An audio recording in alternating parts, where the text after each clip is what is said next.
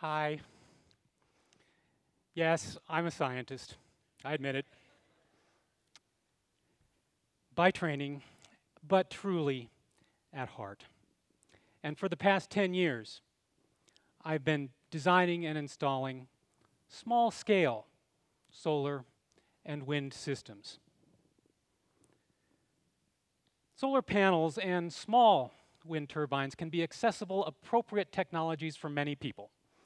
You connect them directly to the grid and generate energy with free fuel and no batteries, and get paid for the clean electricity at the same rate that the utility charges you. I like these attributes. They feel good and right and meaningful to me. But feel good and right are not enough. These systems have to work and work well for a long time. In a word, they must be sustainable. But that's the problem, at least with small wind turbines, because over the years I've observed that many, if not most of them, have, let's just say, issues with their long term reliability. So, for this reason, about three years ago, I started a new company with some very smart, dedicated people working on an idea that we think will change the wind industry. We are convinced that a small wind turbine can be built to require no maintenance for at least 15 years.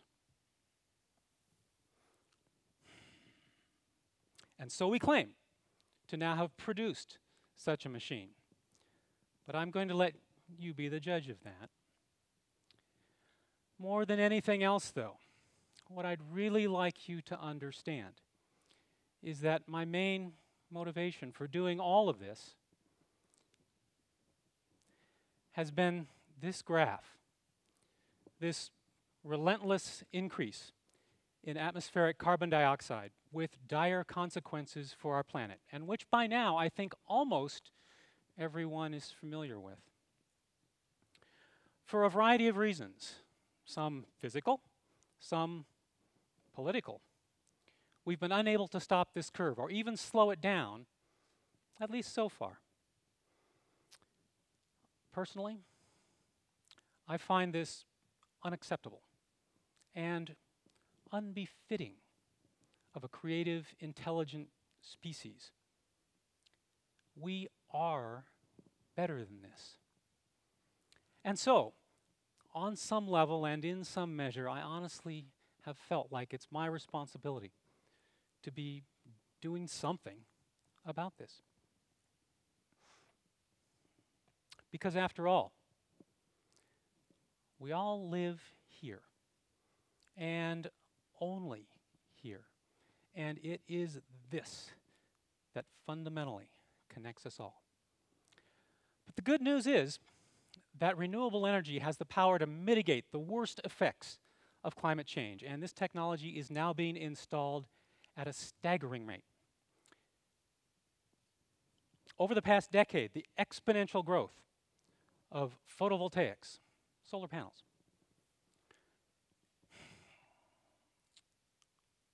suggests that finally, solar has now gained widespread mainstream acceptance. In fact, just in the United States, solar is being installed on a gigawatt scale annually now. But over the same period of time, I've seen small wind turbines not gain this same level of acceptance. In fact, new installations have been declining since the 2008 recession. Why is this? Well, from personal experience, the answer is crystal clear to me. It's because most small wind turbines are not controlled well enough. In high winds, like Hurricane Sandy, they tend to spin too fast, which leads to problems and frequent maintenance and premature failure. So, obvious question why are they spinning too fast? It's the physics, which says that the power of the wind is proportional to the cube of the wind speed. It's this physical fact which makes wind power both practical and destructive. Here it is plotted out. What this means is that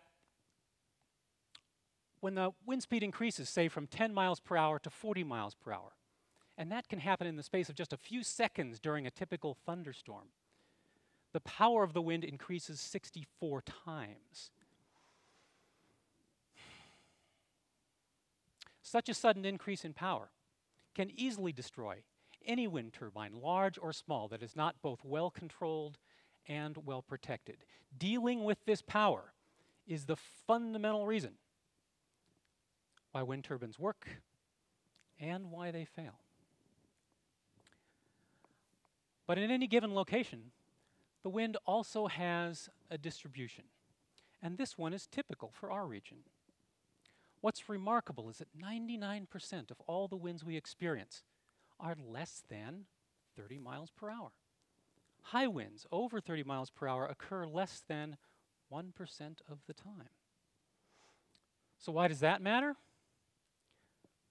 Again, it's the physics, which says that the energy produced by a wind turbine is equal to the power of the wind multiplied by the amount of time the wind blows. And because it's energy that we all pay for when we use electricity, it's the product, it's the overlap of those two curves that's important. So when you multiply them together to get energy, what you see is that 90% of all available energy in the wind occurs at wind speeds less than 30 miles per hour. But we also know that 90% of all damage to small wind turbines occurs at winds over 30 miles per hour. So knowing that, doesn't it make sense to just turn the machine off in winds over 30 miles per hour? Or in some way, slow it down during high winds? So for this reason, almost all wind turbines, large and small, have some mechanism to slow the machine during high winds, like disc brakes or centripetal brakes or pitch control of the blades, or pitch control of the entire rotor, or offsetting of the rotor axis, and this list goes on. But fundamentally, all of these systems are complex. I'd like you to hold on to that thought.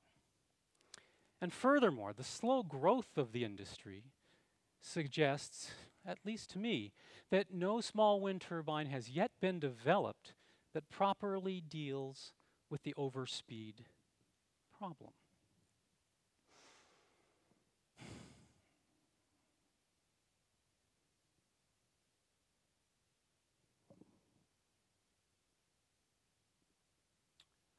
Okay.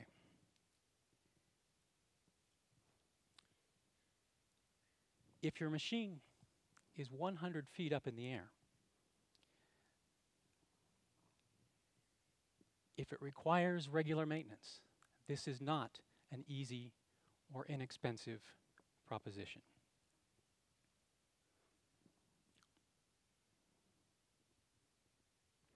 Let's consider a car analogy.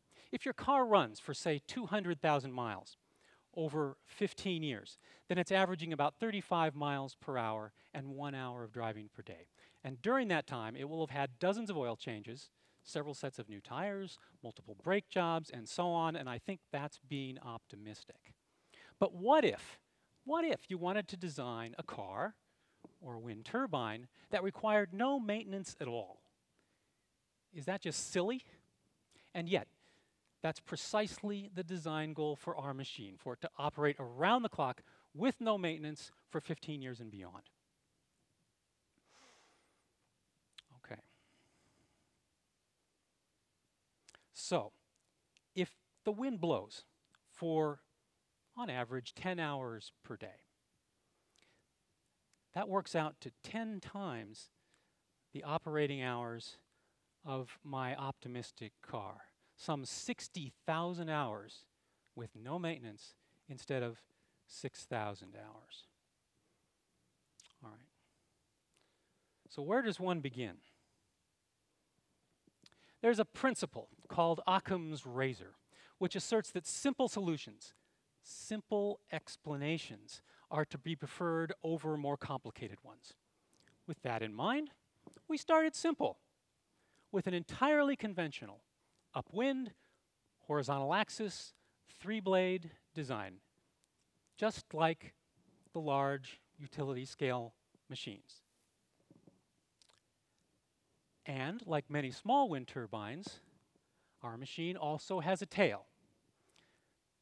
But this tail is special. Not only does it keep it pointed into the wind during normal operation, it can protect the machine when winds become too strong.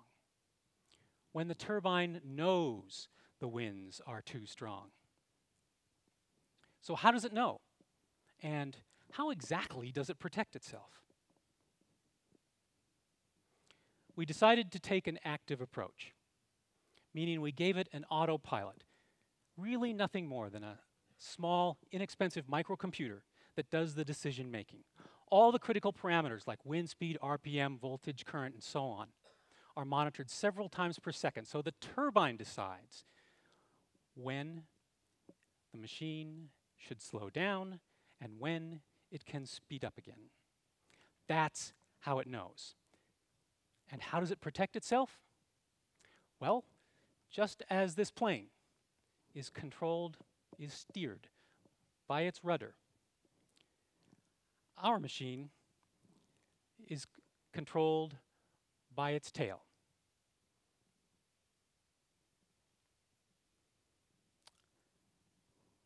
In high winds, a small motor moves our lightweight tail so that it pivots on a hinge. It folds up so that the tail and the rotor become nearly parallel. And so, because of this, the force of the wind acts on this intentionally long lever arm, on this intentionally large tail area, pushing on the tail and turning the rotor parallel to the wind. And so the blades slow down, and most of the too powerful to handle wind just slips by. And when the high winds subside, the tail unfolds again, and the machine resumes normal operation. We've now been through thousands of hours of real world testing, and this has worked every time without exception. In simplest terms, we're using the wind to control the wind turbine. And that, I think, is an idea worth spreading. Thanks.